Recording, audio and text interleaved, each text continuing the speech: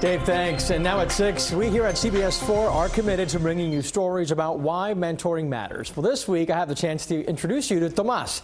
After having to leave his home country and enduring lots of bullying, he's now learning about himself and developing a bright future, all thanks to the special relationship Tomas has with his mentor, Luis. Like many teens, Tomas Camba loves remote control cars, but not many kids his age think about ways to power real hybrid cars. Then again, not every kid is like Tomas. Born in Venezuela, he left his homeland at age 12, in part because of the political turmoil there. My family can't live in Venezuela right now. His first stop, Barcelona, Spain.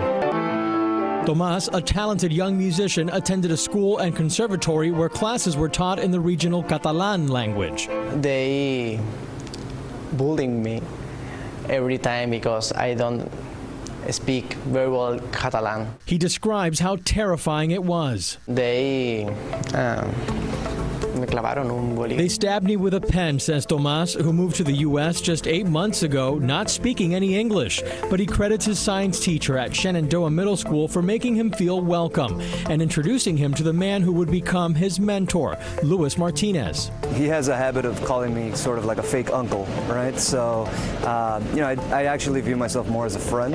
Uh, I'm here really just to show him what's possible. Martinez runs Start 'em Up, an organization that exposes students to opportunities in science, technology, engineering, the arts, and mathematics.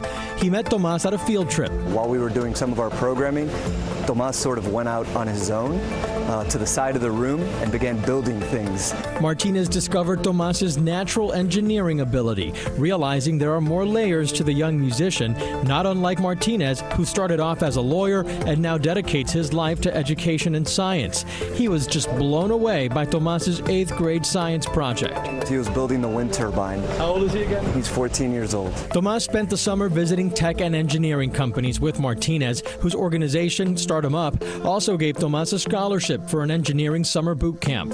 He gave me like a second opportunity for start again to engineer. Having him around me really is, is was kind of amazing because he's so passionate about it. With designs for a wind-powered phone and laptop charger and a slew of other original ideas, Tomas is off to the engineering program at Coral Park Senior High School.